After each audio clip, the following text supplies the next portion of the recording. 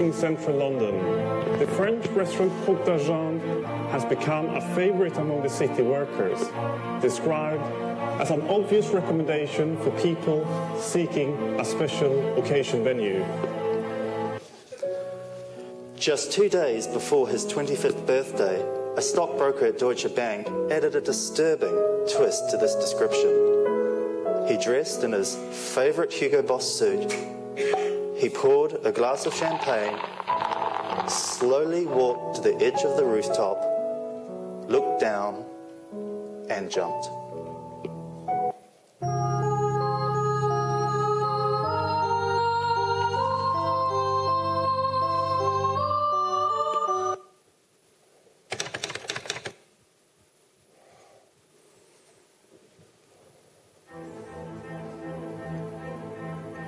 HSBC senior banker was found dead in a five-star hotel in Knightsbridge. He had hanged himself with his own belt and was pronounced dead at the scene.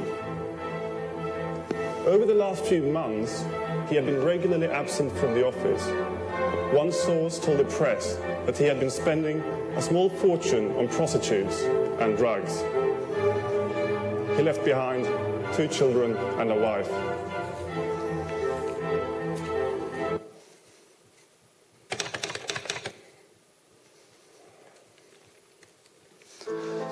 Shortly after having lost his job as assistant vice president at Deutsche Bank, a 44 year old man was found dead in a forest near Kent.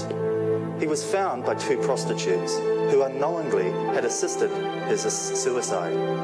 They had met him just after midnight. He was standing on a chair, crying, with a noose around his neck. He had told them that he was wearing a safety harness. In a text message sent to the escort agency prior to the meeting, he said, Girl will ask for execution fee and I will go to place of execution. My crime? Being a loser. Girl kicks away still and laughs, then walks back to car without looking back to show she has no feelings. The two prostitutes verbally abused him and then left the scene. As they returned, his lips had turned blue. He was no longer breathing. They were paid £60 each.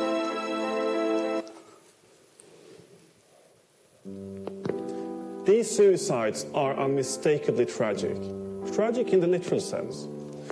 But they also seem to have a lot in common with 18th century England, where the defining aristocratic vices were dueling, gambling, and suicide.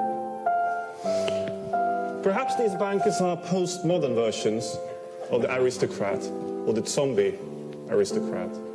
Gambling rather explains itself carelessly playing with large stakes without seriously considering the consequences defines banking today. Dueling doesn't seem equally apparent, but reports have revealed new Wall Street fight clubs. Here, bankers can meet after work to beat each other up. They don't dress up and meet on beautiful locations as their ancestors did. Instead, they meet half naked in basement gyms. The phenom phenomenon has become widely accepted. One senior manager even describes it as a great stress reliever. But we have to remember this. For the aristocracy of the 18th century, this was all about boredom. Bankers, on the other hand, are not bored. That would be a blessing. No, they seek to escape their living death by flirting with the real thing, since only risky behaviour allows a glimpse of some kind of conclusion. Perhaps it is only then that they could escape their living death to escape their zombie lives.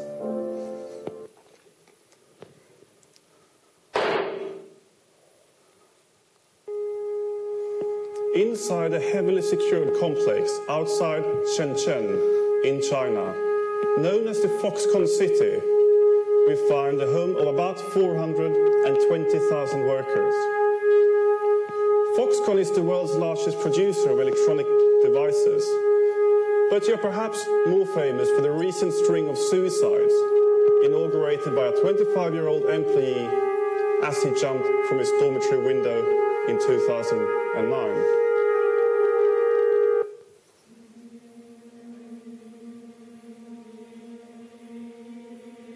This is Foxconn.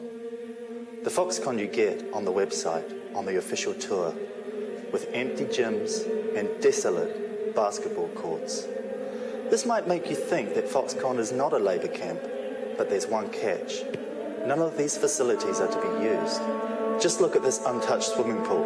Short breaks for lunch and sleep, that's all you get here. The rest is work. The swimming pool is a cruel reminder of something which will never take place, as if the end to work might come, but not here. Definitely not here.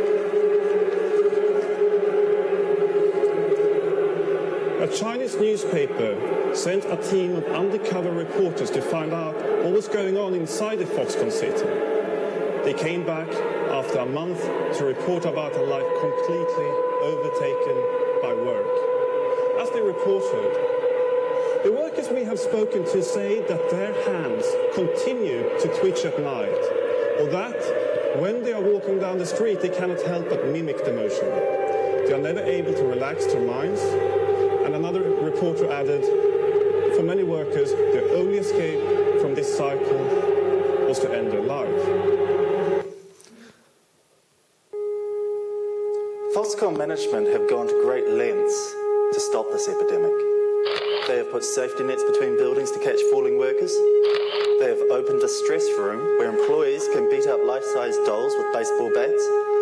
Over a hundred counsellors have been called 30 Buddhist monks have been sum summoned to release the suicide souls from purgatory. In short, Foxconn are now the leading innovators of a new field of management suicide management.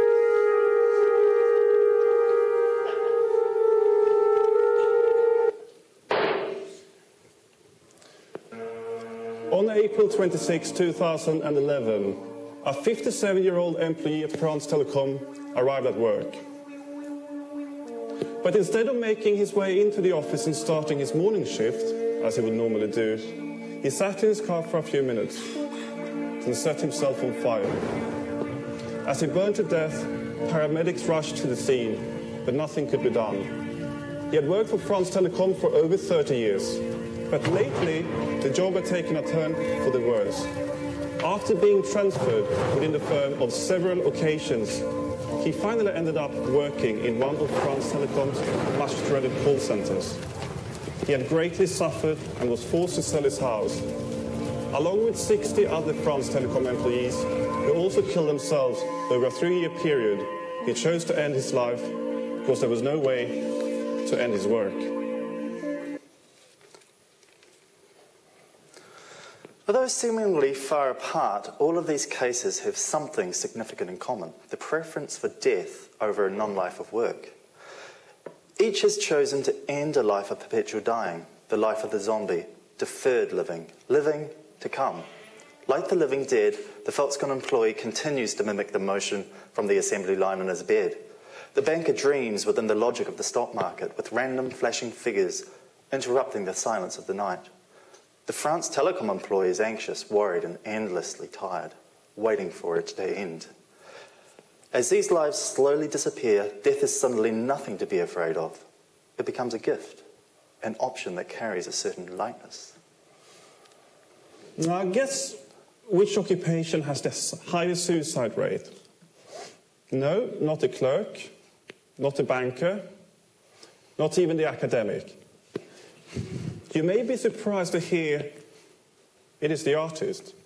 Some would put this down to the madness of genius, but that overlooks the structural conditions under which artists usually work and live constant stress, self employment, flexible working hours, no regulating contract and income, no pension scheme and low pay. In other words, conditions almost identical to those now spreading through the post industrial landscape. Take Andy Warhol. According to today's standards, he's an ideal worker. He's every progressive manager's wet dream. He's anti-conformist, socially skilled, and immensely creative. But most importantly, he displays a particular attitude towards work and life, one where the two are indistinguishable. Warhol hated relaxation as much as he hated vacations every social occasion, even parties, were used to get more portraits or more ideas or to sell more ads. He instrumentalized friendships he was marketing his own life. Warhol's work ethic is all about death.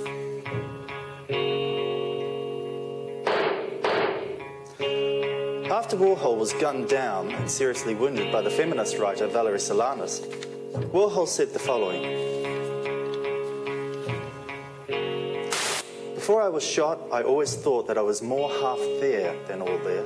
I always suspected that I was watching TV instead of living life. Right when I was being shot, and ever since, I knew that I was watching TV. The doctors and everyone else, including me, were sure I was going to die, so we all got ready, and then I didn't do it. But I always wished I had died, and I still wish that, because I could have gotten the whole thing over with. But perhaps it wasn't just a desire to get the whole thing over with. Remember his well known desire to become a machine? He claimed machines have less problems, and that he wanted to be one. Maybe the desire for death is the desire to slowly become an inanimate object, one which not, would not need to face the anguish of personal finitude because it was already inhabited the space of the non living. Like Warhol, the zombie worker hates vacations, mainly because a life without work would too acutely remind him of what they have become. Can a dead man working take his own life? Probably not, since if one is already declared dead, it makes little sense to kill oneself. Life is tiring and meaningless, but so too is death. Or to quote a well known philosophical premise, why kill myself when I am as sick of death as I am of life? This is the fate of the zombie worker. They cannot live, and hence they cannot die. It is only really in the hope of an externally imposed and catastrophic death that freedom becomes discernible. Perhaps it is a time to stop hoping and instead educate ourselves in the difficult art of dying. Montaigne writes that learning how to die is to unlearn how to be a slave. But to unlearn how to be a slave also means that we need to unlearn how to live. In an ironic way, we know everything about life. We've memorized the checklists for what objectively passes as a good life, but we have done so badly, sadly, and yet utterly gladly. Unlearning life, then, is what we need to achieve. We need to wipe ourselves out for good and create a new living vista.